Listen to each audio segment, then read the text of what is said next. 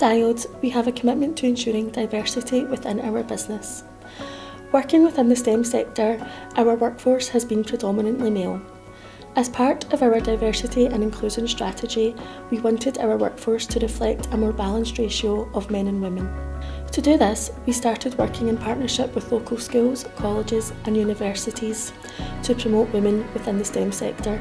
As a result of strong proactivity within this area, the company's applications of women for apprenticeships and graduate programmes increased by over 500%.